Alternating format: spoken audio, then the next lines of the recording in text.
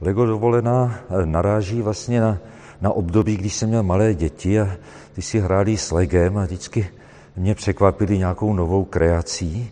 Já jsem vlastně žil obklopen těmi kostkami a tak jsem toho využil a namaloval jsem celou sérii obrazů Lego, z nichž jeden teda je tady vystaven.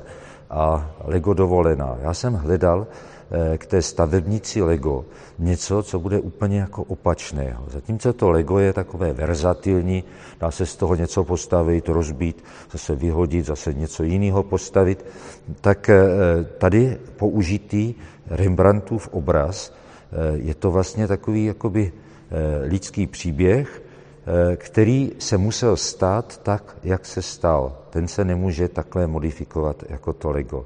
Takže je to vlastně juxtapozice proti postavení dvou věcí. V, zadních v zadním plánu je vlastně citace Rembrandtova obrazu Pitova Nikolase Tulpa, je tam ten patolog nebo ten anatom, který otvírá tomu mrtvému paži a zkoumá ji a jsou tam ti medikové, kteří tomu přihlížejí. Je to jakýsi takový vrcholný okamžik eh, posvátný, kdy se teda nařízne to tělo.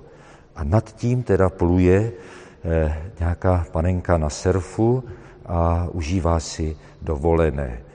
Celé je to vlastně o té, o té hloubce a o tom povrchu. Surf, to znamená povrch, hladina. A ukazuje se, že eh, podobně jako ta panenka surfuje někde na té dovolené po té hladině, tak i ten anatom, i když se dostává do hloubky lidského těla, tak pořád zůstává někde na povrchu. Čili je to jakási marná snaha postihnout něco hlubšího a i ten divák prostě zůstane tak trochu na povrchu.